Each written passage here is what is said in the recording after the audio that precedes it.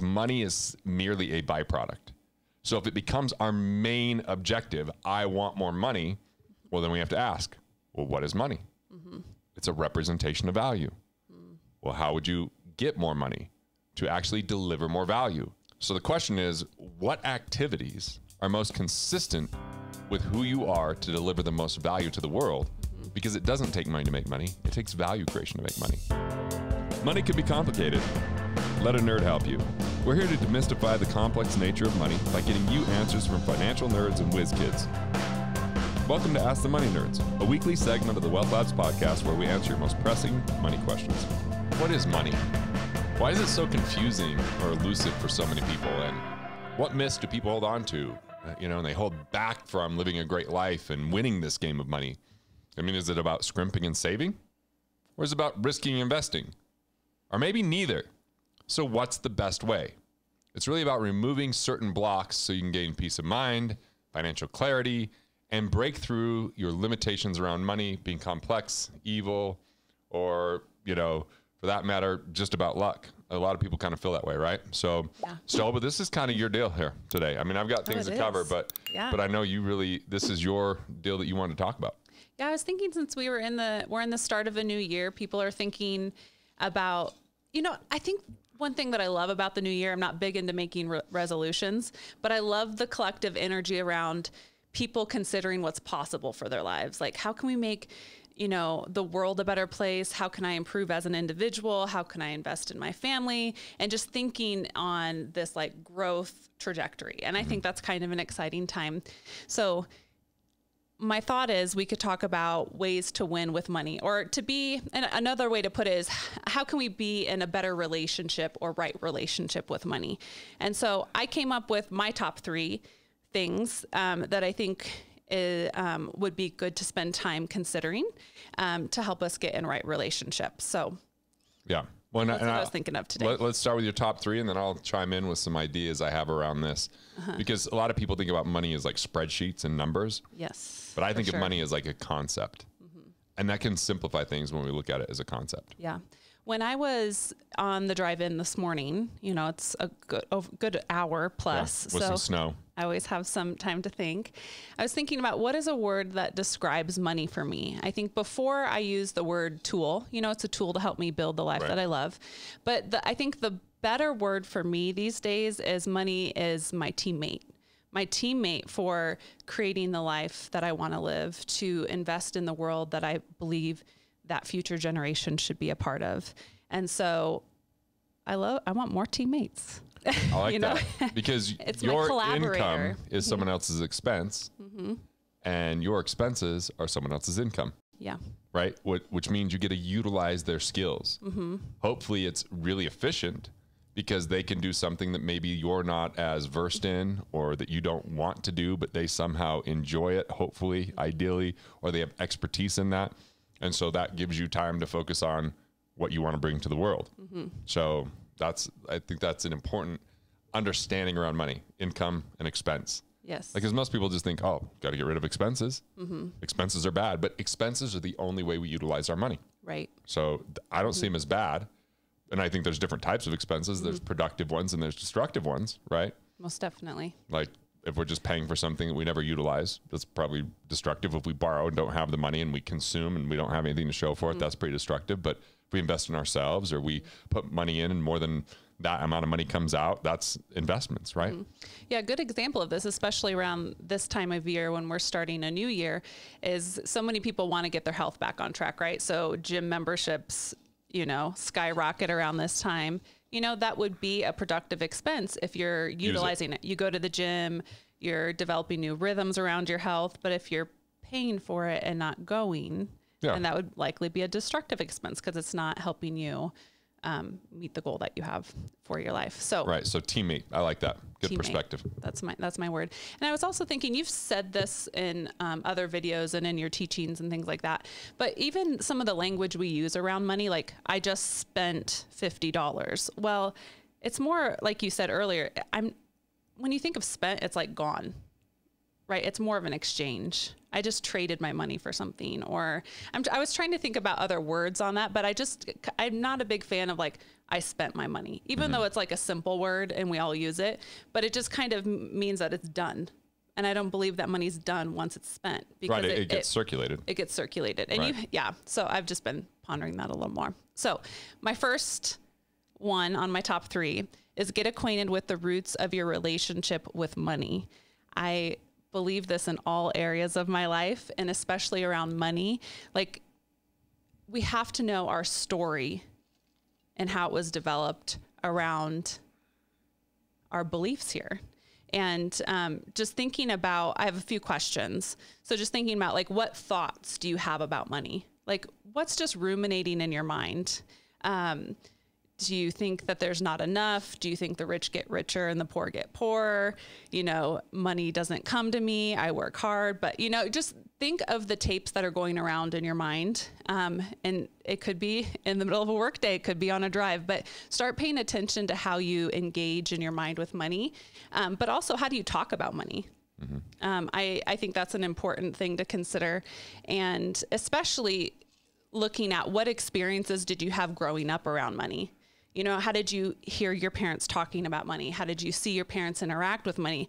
And I mean, I could give some specific examples, but I think for me, growing up in just kind of a middle class working family, my parents worked super hard, kind of blue collar family, and we always had what we needed. But there was still this underlying theme of stress around money like there's not enough of it and we work really hard but we still don't have what we need or we want and so in my journey of being becoming um, just more um, in tune with my thoughts around money I've, I've had to look at those things and Right. say what was fed to me and what did i just naturally pick up on as a child as a teenager that is no longer serving me and it's not going to get me to where I want to be with money and it's not serving me right now with money. And so thinking through those three things, how do I think about money? How do I talk about money? How do my friends around me talk about money?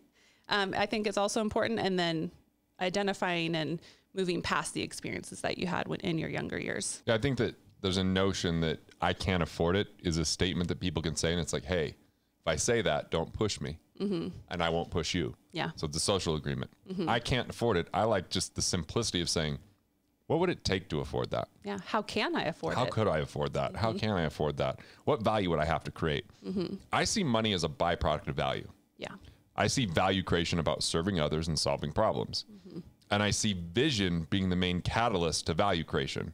What you're doing and why you're doing it, and the container in which you operate. Mm-hmm. Some people operate in the time for money container. Other people operate in the scrimping, saving, sacrificing, deferring, and delaying container, mm-hmm. right? So it's all reduction based. Yeah. Other people live in the I'll just work harder container, right? Other people are like, I just need to get luckier and do more investment deals container. So we have different containers that people operate in based upon their beliefs. And it feels like each container judges the other one, right? Mm-hmm. You've got misers that are all about what they could do to eliminate expenses and costs and, and, and just keep as much money as possible. Yeah. You've got fiscally conservative people that are all about funding retirement plans and focus heavily on the intelligence they have around money. But typically, you know, they're going to be mindful about how they save it, but then they're going to invest it in ways that sometimes are kind of reckless in the, in mutual funds. You got strivers, which I've been a striver more than anything. Is like I'll just work harder. I can just make more by working harder.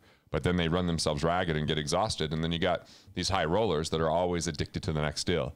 They're always talking about the next big thing. They're trying to get rich quick and they're trying to cut corners and they're trying to make it big. You know, it's almost like a lottery winner syndrome, but within business and startups. Yeah. So understanding that, like money is merely a byproduct.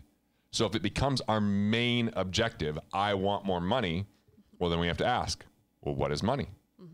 It's a representation of value. Well, how would you get more money to actually deliver more value? Now, some people are like, well, I can inherit money. If I guess if you're part of the lucky sperm club, other people might be like, I'll marry into money, but that's probably a lot of work. Yeah. Uh, some people could just be lucky, right? They bought the right stock, they bought the right cryptocurrency, they they you know won the lottery. Those are a lot of times hard to sustain. So the question is, what activities are most consistent with who you are to deliver the most value to the world? Because it doesn't take money to make money; it takes value creation to make money. And when we get confused about that and think money is something we got to get or take or compete for or hold on to or you know or or get hold on be- before someone else gets it or take it because someone else will and it's a zero sum game where it's win lose scenarios, that's exhausting that tug of war. Mm-hmm.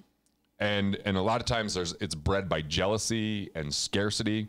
And so look, I've been there. I've been like I almost bought Bitcoin at 100, didn't.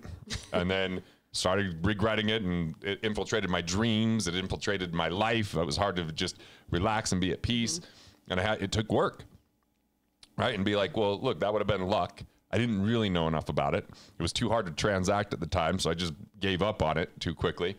But, you know, like instead the view would be like, well, what is my life going to be about? Like, I want to plant a seed of hope, connection, and expression in the hearts of 1 billion people right? That's so if it's aligned with that vision, I'm in. If it's not aligned, I'm out. Yeah. And so I'm focusing on value creation as the main culprit to finance, mm-hmm. not luck, not, you know, um, marrying into it or inheriting it or anything like that. It's like, what can I do in the world mm-hmm. and have money be the byproduct of that? Yeah. So vision is how you win, right? Value is how you deliver that vision. And then you know what you're going to have is dollars as a byproduct of that. So it doesn't take money to make money. It takes relationships and ideas. It takes value and exchange. It takes serving others and solving problems. It takes value creation at the core of it. What would you say to someone? Um, I agree with what you're saying. I um, what would you say to someone who is, you know, a teacher or a stay-at-home mom or someone who is working in the humanities? Let's just say, like, I feel like Mm-hmm. those people are delivering delivering massive amounts of value, Right. but money's not following them. The container is the constraint. The container is the constraint. yeah, You know, my That's my little sister, um, great teacher, created a blog. Mm-hmm. What the teacher really wants. Started doing really well with the blog, helping teachers. So she was educating teachers and an educator herself. What she's getting paid by the government was not great. What she started doing as an enterprise, as an entrepreneur with that blog, started to increase her income. Mm-hmm. So the container win really matters. And sometimes the procedures and the structure are going to limit how much you can get paid because it limits the number of people you can reach. Mm-hmm. Or it might even limit how deeply you can impact those people. You were a teacher. Yes. You know, let's say you have 30 students, you know, and we look at the tax base of 30 students and how much would come in that would go to the actual physical structure, how much would go to the actual administration, how much goes to mm-hmm. books and supplies, and then how much is left over for a teacher. And we say, well, it's unfair that they're not paid more, but the question is, where would that money come from? Right? So the container might be to be an educator, you might have to create a new construct. You might have to do something different because I consider myself an educator, much higher paid than the teachers that are, you know, working for the government in my family. And we've had my sister was teacher of the year, my mother-in-law was teacher of the year, um, my wife's aunt was teacher of the year, like some phenomenal teachers. But the reality is, it's how much um, value can they provide in that in that construct. Yeah. So asking the question, how do I expand my container so I can increase my value? Not my value, but Right. And the vision is the container. yes. It tells our brains what's important, That's what to pay attention to, and and really the impact equation is how do I a reach more people, Mm-hmm. or b more deeply impact the people I reach. And if you can just solve those things, there's new value. Now, if you're going to be a domestic engineer, right, and stay at home, you'll get value from the hugs, the kisses, the you know, and not always pleasant in raising kids, but Right. you'll get the value in the emotion, not in the dollar Yeah. because there's different currency. Mm-hmm. Healthy There's attachments with of- your kids right. is a healthy, you know. Right. So so you're making a very long-term investment. Mm-hmm. Now maybe they become your retirement plan. Maybe not. I don't know. But but that's a, that's a choice. Like you might have a family member that is mm-hmm. so amazing to your family, never get wealthy financially, but it's because they dedicated the life to the family, not to people they didn't know. Yeah. When you don't know people, they exchange money with you. When you know them, they exchange conversations, pleasantries, time, you know, those uh, mm-hmm. connection. So that's that's the that's the reality of the world. Mm-hmm. So just because you add a lot of value doesn't automatically mean you're going to be really rich. It's how do you add that value and who do you add that value to? Mm-hmm. And what does the public's perception of that value look like? Because value is perspective. And it's the perspective of the person that's paying for it. And so that container is what we're back in. Yeah. What's the container? You know, and we're constantly looking at what's our container and how are we going to reach people and how do we impact them and what does that look like and you know we're we're inventing brand new ways and that's just part of the process and that's not always an easy process but it can be very mm-hmm. rewarding mm-hmm. right Sure. and it may not be short term immediate i think a lot of times we have expediency where we where we cut corners to get to activity that directly compensates versus vision which indirectly creates the container that mm-hmm. compensates the bigger dollars and mm-hmm. because people get into places where they're in student loan debt or they get a car loan or they get credit cards or they get married and all of a sudden they've got a mortgage and now they're kind of forced into a situation where I've got to pay my bills. I don't have time to think anymore. I just have to do. And life feels super busy. And when we're doing things that we hate and draining our energy, then we don't have time for the things we love, which was the reason we started doing it in the first place. And hence you start seeing breakage in families with divorce and bitterness that people have because the stock market's not performing or because they're working really hard but they don't feel rewarded for it but they're working in a way that's not consistent with the best value they can provide the world and i'm not saying this is easy No, it's, it's not work. easy to find what that's going to be it may exist it may not when it doesn't exist that's a that could be a scary place mm-hmm. right be like i'm going to invent something okay Right. a new format. That could take time. But the question is, what work is worthy of your life? Mm-hmm. And if you decide to be a teacher for the government, you made an exchange that said, this is what you get paid. Yeah. And if you want to get paid more than that, you've got to create a new container. Mm-hmm. You've got to complement that container. There's maybe additional work that you have to do. I don't know what that is, but but you really have to question is that where you want to be because if you stay in it and complain, you're destroying the enjoyment of the work and you're demeaning the system and you're part of the problem because you're actually allowing the system to underpay you if that's how you feel. Yes. And then unfortunately, our kids start to see that. Our kids start being trained by people that go, I'm underpaid. Mm-hmm. And they're like, oh, what, why? Yeah. Because, you know, because these rich people aren't paying more. Oh, screw those rich people. You know, and you see where those Right. those beliefs come because when my wife was a teacher and we would be at the grocery store and she'd see a student, she was like a hero. It was like, oh my God. Oh, that's it's one of the best Mrs. feelings. Gunderson. Yeah. Uh-huh. Like, I can't believe it. And I was like, I've never been approached with that kind of excitement as our Enthusiasm. students and enthusiasm. Yes. And so think of the influence that teacher is going to have. Mm-hmm. And so we have to look at the systems and we have to look at what our choices with time and we have to look Mm-hmm. at the additional currencies. Is it simply the value we provide and the smiles that we provide? Mm-hmm. Is it the connection we have with the person? I mean, there's there's a number of things that we can kind of look at there. Mm-hmm. But if you don't like the system, you got to create a new one. Yes. And maybe Yeah, you got to partner with that. someone to create it. Mm -hmm. Yeah, that's really good insight. I had a student reach out um, several months back and just said, Miss Stolpa, do you remember when you taught us about healthy living and da da da da, and you taught us all these things? And I just wanted you to know I really appreciated that. And I was like, that just like warmed my heart for months. Right. It was just That's so beautiful. part of your compensation. yes, right? absolutely. It's part of the compensation. Absolutely. May not be monetary compensation all the time, but mm-hmm. there is value. Mm-hmm. Right? Absolutely. Always value.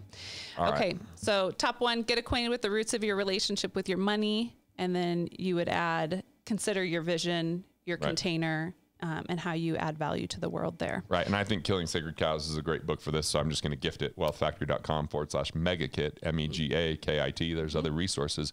But Killing Sacred Cows addresses nine money myths that have really permeated people's mindset and limited their prosperity. Mm-hmm. So by identifying them, you can actually choose a different path. Yes. and and you can invent your future more powerfully versus just taking what's the limited belief system that's been handed down for mm-hmm. generations that maybe served us during the Great Depression, but maybe doesn't still uh, pertain a hundred years later.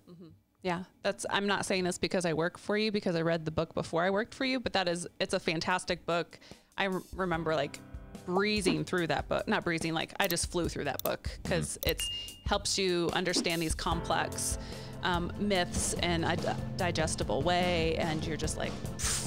What have I been believing my whole life? What have I been taught? So I would encourage everybody to get that. Awesome. All right, turn your thoughts into profits and build the life you love. Want to master your money? Want to figure out the things that you could do to improve your finances? Click here and check out more videos like this on Money Matters.